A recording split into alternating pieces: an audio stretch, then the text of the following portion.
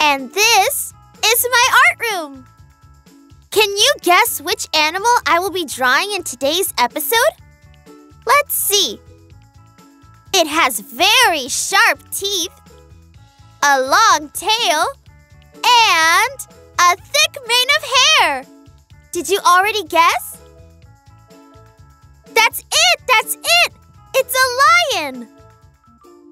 To draw it, you're gonna need a sun,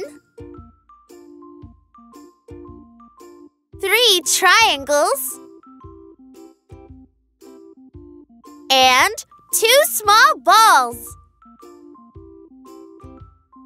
First, draw the sun. Don't worry if it's not perfectly round. The important thing is to try.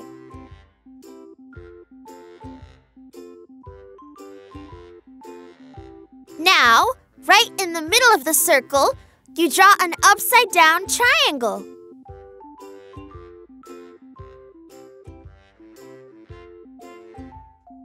And two here pointing up.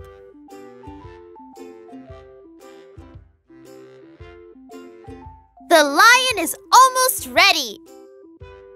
The eyes are just two small balls.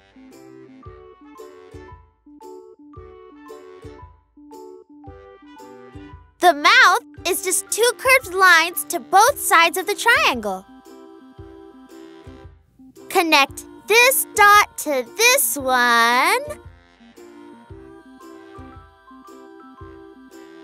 And ready! Now, just paint it with your favorite colors.